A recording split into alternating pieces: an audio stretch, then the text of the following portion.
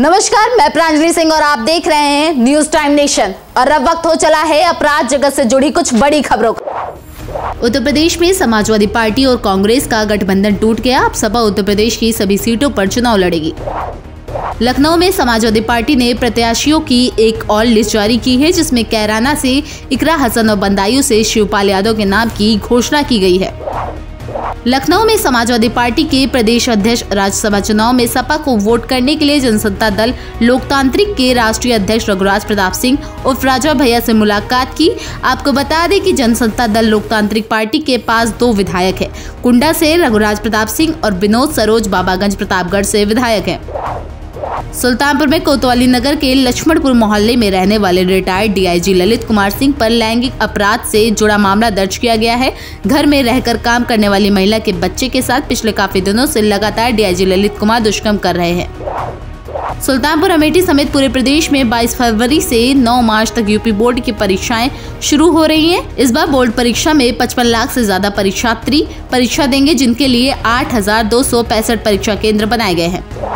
सुल्तानपुर में MP MLA court में आए पेशी के दौरान ज़िले के सभी कार्यकर्ताओं ने राहुल गांधी का पोस्टर बैनर लगाकर जोरदार स्वागत किया।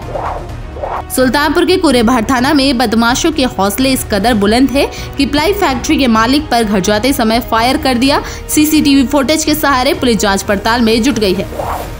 सुल्तानपुर में बल्दीराय थाना के टहरसा गाँव में हुए गोलीकांड में ऋतिक सिंह घायल हो गए। जिला अस्पताल पहुँचे घायल का इलाज डॉक्टर सुनील पटेल की टीम ने टॉर्च की रोशनी में किया।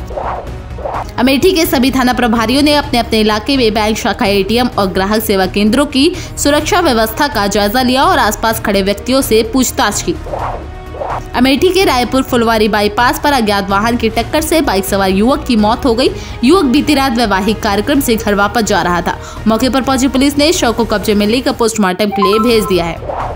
जौनपुर के थाना खेतास राय डोभी की भारतीय विद्यापीठ के वार्ड नंबर पाँच की रहने वाली अंजलि सिंह ने थाना अध्यक्ष खेतास राय पर गंभीर आरोप लगाते हुए पुलिस अधीक्षक से न्याय की गुहार लगाई है। जौलौन में उरई तहसील के कस्बा कोटरा की रहने वाली गुड़िया का हिस्सा उसके भाइयों ने बेईमानी करके हड़प लिया, जिसकी शिकायत गुड़िया ने उच्च अधिकारियों से की और लेखपाल पर गंभीर आरोप लगाए। श्रावस्ती में बासठवीं वाहनी एसएसपी के जवानों ने तेरह बोटा सागवान लकड़ी के साथ एक लकड़ कट्टे को गिरफ़्तार किया है, जो जंगल से अवैध रूप से सागवान काट कर तस्करी करता है। हमीरपुर में अचानक मौसम बदलने से तेज बारिश के साथ ओलावृष्टि भी हुई। लगातार आधे घंटे से तेज बारिश और हवाओं के चलते इलाके में कई पेड़ उखड़ गए हैं। लखीमपुर खीरी में कॉलेज की फेयरवेल पार्टी के बाद नाबालिग छात्रों ने गाड़ियों पर स्टंट करते हुए रैली निकाली। गाड़ी की छत पर हूटर बजाते हुए लड़कों ने जमकर यातायात नियमों का उल्लंघन किया। लखीमपुर खीरी में थानाखीरी के जक्सर मंदिर के पास देर शाम गुमशुदा करण की लाश मिली। मौके पर पहुँची पुलिस ने शव को कब्जे में लेकर पोस्टमार्टम के लिए भेज दिया है। लखीमपुर खीरी की कुंभी चीनी मिल के डोंगे में गन्ने से लदी ट्रैक्टर ट्रॉली पलट गई, जिससे वहाँ मौजूद लोगों में अफरा तफरी मच गई।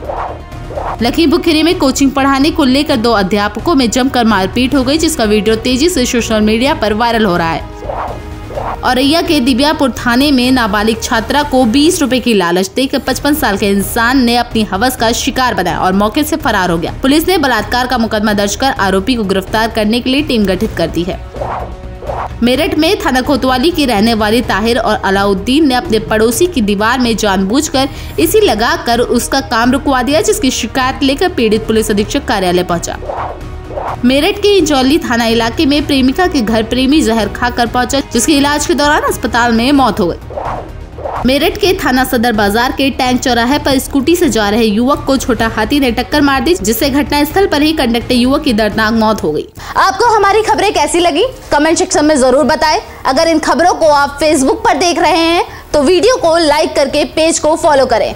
इसके अलावा अगर आप इन खबरों से यूट्यूब के ज़रिए जुड़े हैं तो सब्सक्राइब करके बेल आइकन को दबाना ना भूलें। नमस्कार। सब्सक्राइब करें आपका अपना चैनल न्यूज़ टाइम नेशन और हर खबर सबसे पहले पाने के लिए बेल आइकॉन ज़रूर दबाएँ। और हाँ खबरें पसंद आ जाएँ तो लाइक और शेयर करना ना भूलें।